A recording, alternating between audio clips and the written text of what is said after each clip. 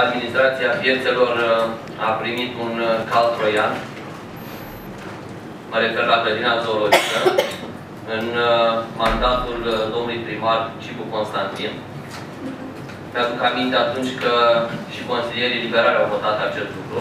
Astăzi constatăm cu toții, și noi și dumneavoastră, că nu a fost o măsură bună, lucru admis de toată lumea.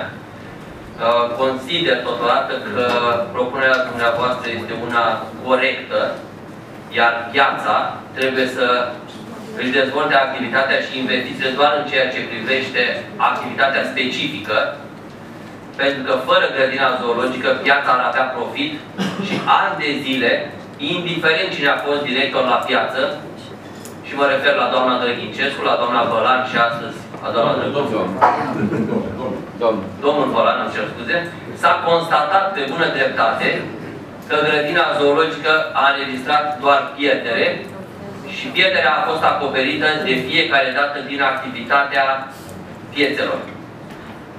Consider că în mandatul următor, noi toți vom fi de acord, vom pregăti încă de anul viitor procedura ca grădina zoologică sau alții, domnul. Sau alții, domnul consilier, ca grădina zoologică să funcționeze distinct de piață, la fel cum am făcut și cu toate acele piețe care nu erau rentabile pentru APT.